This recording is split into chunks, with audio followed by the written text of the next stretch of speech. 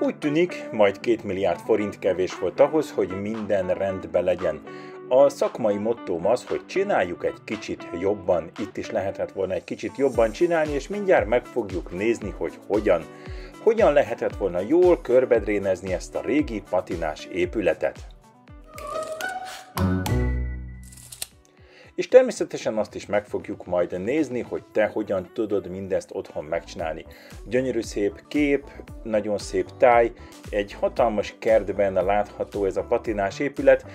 Állítólag már bőven a középkorban is itt komoly épületek voltak, és nem véletlen írták ide ki, hogy óvjuk együtt, hát valóban óvjuk együtt mi most ezt az épületet, és nézzük meg, hogy mi van itt most. Egy nagyon szép park, és ebbe épült fel Hild József tervei alapján ez a klasszicista épület, ami nagyon sokáig tündökölt, míg aztán bekövetkezett a második világháború szokásos története, a front végig söpört rajta, és utána már nem tudott sosem igazán erőre kapni ez az épület, eltelt jó néhány évtized, igazából közel 50 év alatt jutott el oda, hogy teljes romlásba borult ez az épület, és igazából már nem sok mindent lehetett volna vele kezdeni. Most mégis nagyon szép állapotban van, meglátszik azért rajta az a két milliárd forint, amit ráköltöttek. Bármerre nézzünk, gyönyörű panoráma, jó levegő, és a nagyon szép mértéktartó klasszikus arányú épület. Érdekes az épület története, hiszen helyben Sándor kastélynak, Sándor Móricz ördöglovas kastélyának hívják, azonban komoly fővárosi kötődései is vannak, hiszen komoly kötődése van a Sándor palotához, aki ennek utána akar olvasni, az megteheti.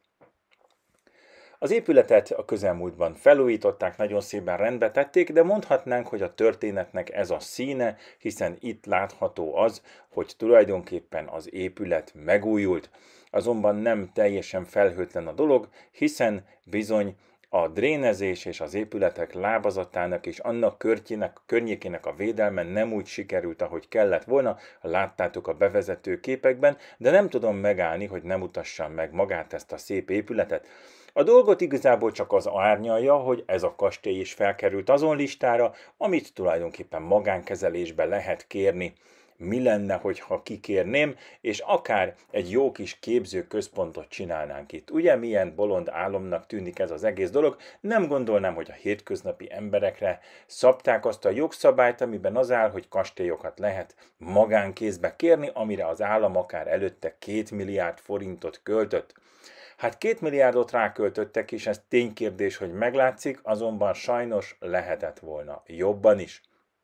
Az örök kritikus probléma az épületek lábazatának a környezetének a védelme valahol jobban sikerült, mint hogy ezeken a képeken is látható, hogy tulajdonképpen itt nem is vedlik. Azonban amint a sarkon befordulunk, ott bizony már nagyon csúnya dolgokat látunk, és folyamatosan szórja le a vakolatot az épület nem sikerült rendesen megcsinálni, és hiába a szép homlokzat az épületnek a hátulja, vagyis hát a fordítottja, az bizony nagyon csúnya. Lesz itt olyan kép is, illetve olyan ábrák, ahol majd át fogjuk venni azt, hogy hogyan kell ezt megcsinálni. Szegény, boldogult nagyanyám mondta mindig azt, amikor kézimunkázott, hogy nem csak a színének, hanem a fordítottjának is szépnek kell lennie. Tehát hiába szép a homlokzat, hogy ha hátul nem sikerült jól megcsinálni, és a rejtett dolgok nem jók, akkor bizony nem lesz jó a végeredmény. De nézzük meg ezt a rajzot, illetve nézzük meg a valóságba, hogy mi is készült itt tulajdonképpen.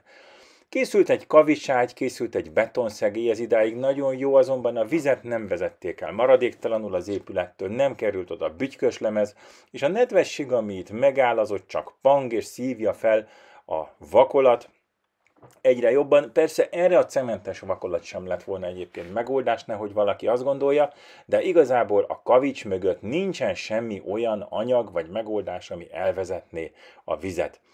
Pedig az épület maga gyönyörű, és megérdemelné azt, hogy ezt jól megcsinálják, látható itt az újjáépített kerítés, és nagy örömömre szolgál, hogy végre nem csak romokat látunk egy-egy helyen, amikor elmegyünk kirándulni, hanem valóban szép épületeket Magyarországon is. Azonban ugye itt a fordítottja az épületnek a hátulja, ami már nem olyan szembeötlő, az én szakmai szememet mégis nagyon zavarja, hogy bizony így vedlik le a vakolat is. Ennek alig három éve, hogy befejeződött a felújítás, öt éve kezdték el, és ez így néz ki. Gyakorlatilag az épületnek a hátsó szárnya az így néz ki, pedig nem kis neki durálás volt, és egy komoly program részeként végezték ezt el, és jól látjátok, 1,7 milliárd alapból, plusz még mindjárt majd egy negyed milliárd, úgyhogy bő két milliárd forint ráment az épületre. És ilyen megoldások születtek. Hát emiatt szomorú vagyok, pedig az épület nagyon szép, és megérdemelt volna egy valóban körültekintő felújítást, ha már ennyi állami pénzt elköltenek rá. És igazából ez adta a videó apropóját, még akkor is, hogyha néhány egyéb gondolatot is megosztottam. Erről érdemes megnézni, amíg lehet. És akkor nézzük a drénezést, hogy hogyan készült a 200 éves háznál alig 50 kilométerrel odébb. Vályokból készült az épület, azonban ez nem ázik, hiszen elkészült a bütyköslemezes teknő, amiben elvezetjük a vizet. Itt előkészítettük éppen az üveghabnak a helyet, és ebbe a vájúba, amit itt láttok a kép jobb oldalán, a bütyköslemez tetejére oda fogjuk bedolgozni az üveghabot, amit betömörítünk, hogy kicsit megtámasszuk magát az épületet is, és ezáltal részben stabilizáljuk, illetve hőszigeteljük. Egy épület, aminek nincs alapja, ott bizony fontos lehet az a felső rétegnek a stabilitása is, még akkor is, hogyha alapvetően ennek stab- statikai jelentősége nincs. És hát akkor itt láthatjátok, hogy ebbe a vájúba bedolgoztuk az üveghabot, becsomagoljuk, Egyébként itt lehetne egy jó kis vízáteresztő kőtöltés is, nem szükséges, hogy itt üveghab legyen, de mi komolyabban meg akartuk ezt hőszigetelni, és ezt követően az épületet is meghőszigeteltük. Szóval itt van ez a vájú, amit mi kitöltöttünk és megraktunk üveghabbal, geotextiliát ide felfüggesztettük a falra, és akkor utána ráfordítottuk, és ennek a tetejére lehet aztán egy kavisburkolatot, vagy járdalapokat tenni, ez már tetszőleges, de gyakorlatilag itt a mesdjét gyakorlatilag végig dréneztük, elvezetjük a vizet.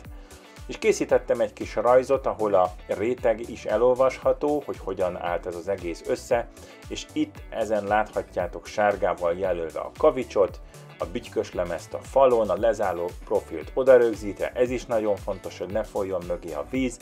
Egyébként ezeket az ábrákat majd letölthetitek, kiteszem linken. Ez pedig egy olyan verzió, ahol hőszigetelést is raktunk, ez készült egyébként a 200 éves háznál, és ezzel oldottuk meg, hogy az épületnek a lábazata tökéletesen száraz és vízmentes legyen, mind a mellett a hőszigetelést is megoldottuk. Sokan foghatják a fejüket, kívánóan le lehet hőszigetelni a vályokházat is, és kell is. Erről egyébként fogok majd az új könyvembe is írni.